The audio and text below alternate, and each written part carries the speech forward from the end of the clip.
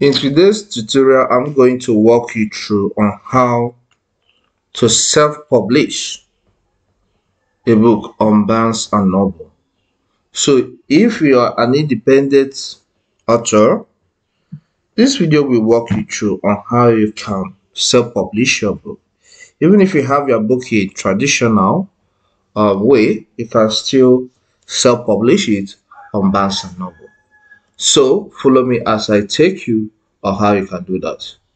The first step is to visit Barnes Noble Press website, okay, which is press.barnesandnoble.com. I still have the link on the screen here, okay?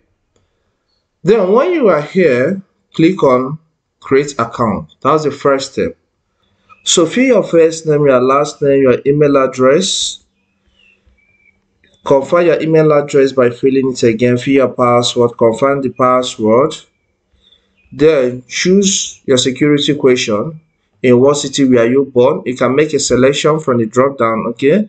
So just fill these details. Then the next thing is to answer the security question.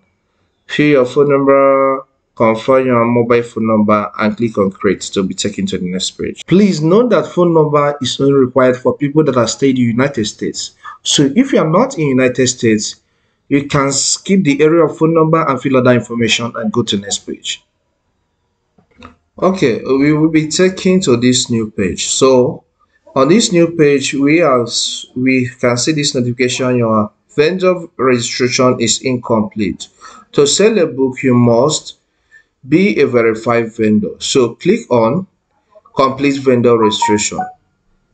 Okay, on this page, fill some details, publisher name, publisher website, if any applies, then click on save pages, save changes, okay?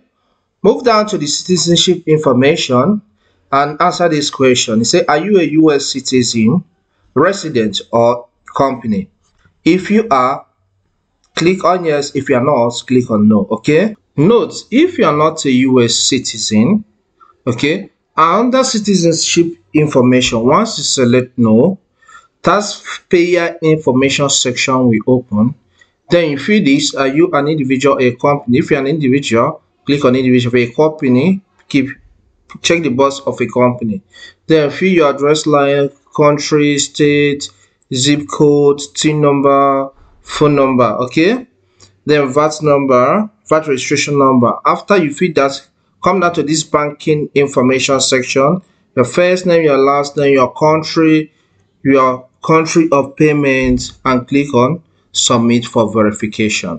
Because i'm not a u.s citizen after filling the task form and my payment information and clicked on submit this pop up so the next thing is to click on ok and proceed to the next stage Okay, this page opens which states, please note, you have up to 30 days to submit your W8 information. This is because I'm not a US citizen.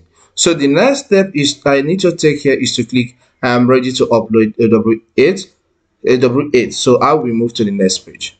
After you have submitted the information required for you, you can click on create a new book, choose the format of the book, start entering the details, until you get to the last stage. So these are just the few steps you need to take to do what? To upload a book with Barnes and Noble Press. Thank you and see you some other time.